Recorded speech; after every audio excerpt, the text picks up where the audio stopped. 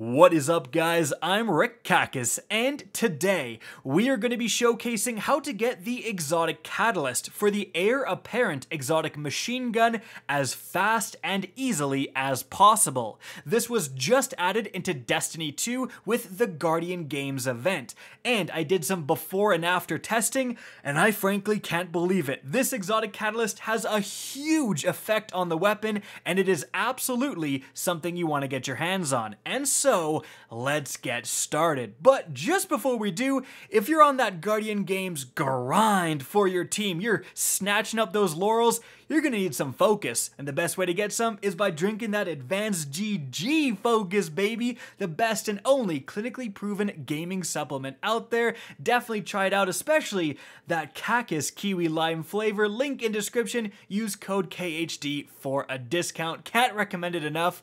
I use it all the time. All right, now let's get started with what exactly you're doing in Guardian Games to get the new exotic quest that gives you this catalyst list. So, firstly, if you haven't got the heir apparent, you didn't get it last year, there is a new extremely easy exotic quest to get one this year. So all you need to do is the main Guardian Games quest from Eva Levante. Eventually the exotic quest will drop and there's two steps. Step one is get like 50 laurels. Step two is get like 100 machine gun kills pretty darn easy.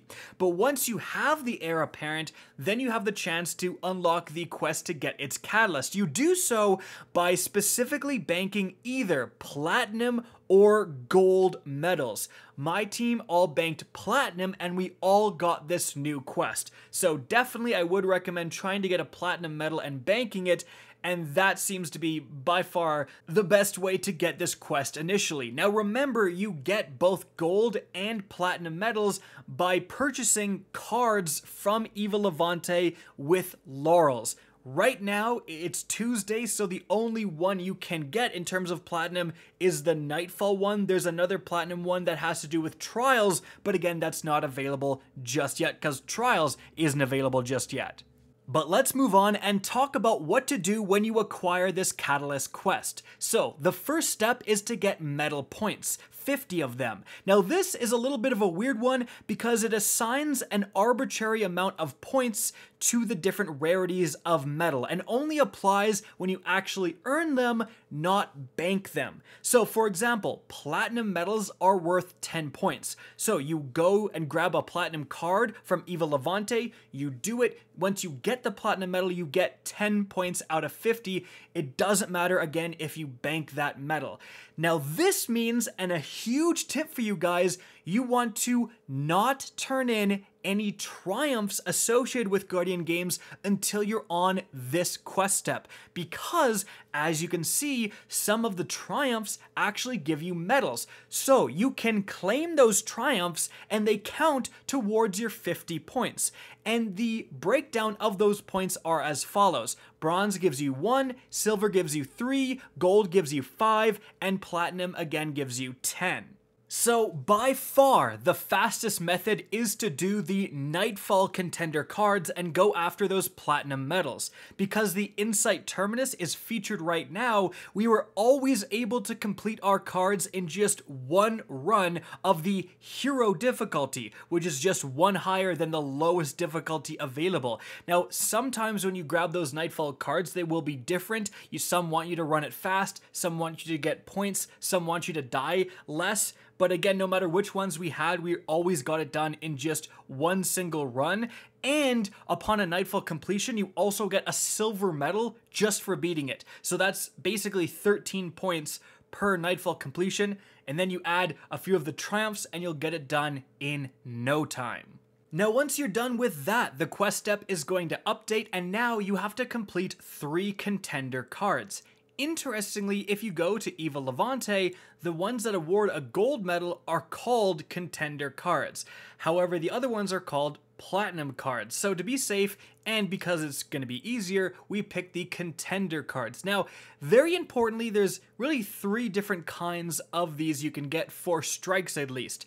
There is solar damage and also super kills award more progress. Then there's arc damage and then grenade kills and rapid kills reward more progress, and then there is void damage and melee kills and finishers reward more progress. So by far, we found Solar and Arc to be the easiest by a huge margin. Now we were on Warlocks, and it might be significantly easier on Titans and Hunters because they have supers that get melee kills with a Spectral Blades as well as Sentinel, and Warlocks don't.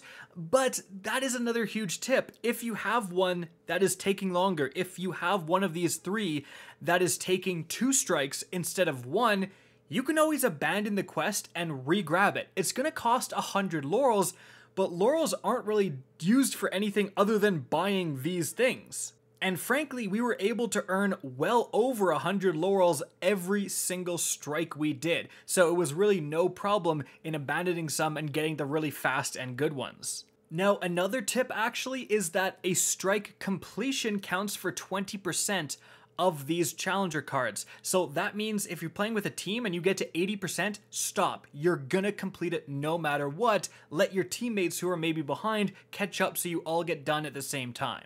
But moving on from there, the final quest step is to earn competitive spirit, and you do so by defeating combatants with machine guns in the daily focus playlist, and precision final blows grant bonus competitive spirit. So the daily playlist is going to be viewable in your directory for us, and the first day it is strikes. So it just means that you earn bonus laurels for a certain amount of time in that playlist, but after you've earned those bonus laurels, then it's gone and there's nothing really on your directory. It's kind of confusing and annoying. Uh, so you just kind of have to remember what it is. So just check at the beginning of the day when you first log on what the daily featured playlist is. And you may want to save this quest step for Gambit or Strikes because it was really, really easy in Strikes. Like you're gonna in one strike almost guaranteed especially if you use a high impact machine gun like the Swarm, which can get really easy precision kills.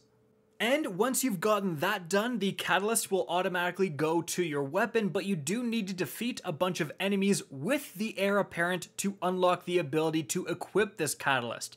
So the best method is, well, if you have a throwaway checkpoint, then do that. But if you don't and you're just a solo player, you can simply load into the Last Wish raid. Before the first boss fight, peel off to the left and go on these ledges, follow your way up into this room where you can input different wishes. So enter what you see on screen right now, and that is going to be what you need to teleport to Shuro Chi as you can see. So once you're at Shuro Chi, she has a ton of ads she throws at you. You're gonna get a significant amount, like 10% of the catalyst done every single time you do this. Not to mention, you can put down a rally flag at the beginning of the encounter to get full heavy ammo, which definitely helps in doing this. And yeah, just kill all the ads and then uh, wipe and restart. Just keep doing it until you get the catalyst. You'll be done in less than an hour.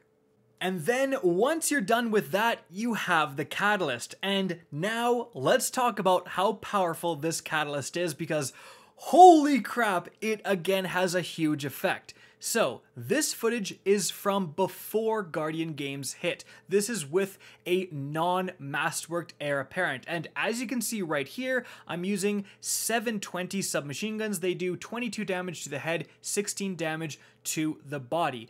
Then with the shield, the kinetic 720 does 8 damage to the head, 8 damage to the body as well. And if I do switch to my arc 720, the Ikelos, you'll see that it does do 16 damage to the head, and actually when you break the shield, it has the same effect as a PvE enemy where the shield explodes and does extra damage to your opponent, which is definitely like the main downside of using the heir apparent. If you're versing arc weapon users, you kind of get clapped when that shield explodes. Now, Importantly, arc weapons cause the shield to explode, but elemental weapons in general will do more damage to the shield. As you can see right here, the Hawkmoon does 70 damage to the head, 47 damage to the body, and then the Palindrome, which is Void, does the same damage. The shield goes up, and then the Hawkmoon is doing only 24 damage, but the Palindrome is doing 39 damage. So you again get a damage bonus when you're using an elemental weapon, but the shield doesn't pop and cause extra damage if it's not arc. But here's what happens after you have the catalyst equipped. Remember that SMG, I'm using the same guns as I was using.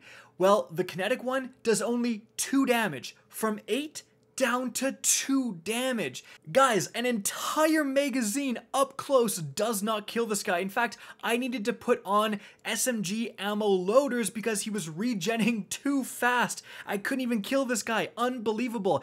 And the Ikelos actually goes all the way down to 4 damage from 16 damage down to 4. So it takes 19 shots with the Ikelos to take down that shield. Absolutely insane. Switching to those hand cannons, by the way, they do way less damage as well. A Hawkmoon does 6 damage now. 6 damage with a Hawkmoon. It's gonna take years to kill this guy. And the Palindrome only does 10. So it takes 10 entire shots from the Palindrome just to get this shield down. Unbelievable. By the way, a completely charged times 7 paracausal shot from the Hawkmoon only does 36 damage. Like, what the heck? So, this catalyst provides a 75% damage reduction improvement over the previous non-catalyst shield. And again, this makes you an absolute tank. So you are well over twice as hard to kill with this weapon when using it masterworked. And that's not the only effect. We also tested out the fact that you will get a partial reload when your shield is destroyed. And it turns out you get 100 rounds out of 200 back every single time. So when your shield is destroyed, you get 100 rounds instantly put into your magazine. This is going to apply obviously quite a bit less in PvP, but in PvE, this could definitely help quite a bit. And honestly, just for how tanky you are, I really can foresee more people using the heir apparent, significantly more. Because if you just save a couple ammo, you don't even have to use this weapon as a weapon. You can use yourself as a riot shield, basically, walk around the corner nearly invincible with your teammates behind you, killing the enemies that are desperately trying to actually kill you. And so guys, that's it for the video. I hope you enjoyed, found this informative, and if you did, please remember to help me out by simply rating and especially sharing this video. If you guys want to see more Destiny 2 content similar to this, don't be afraid to slap that subscribe button. If you want to get in touch with me and keep up to date with the latest channel activity, the best way is to follow me on Twitter at RickKackis. That's linked in the description down below. Again, I hope you enjoyed the video, and as always, have a good day.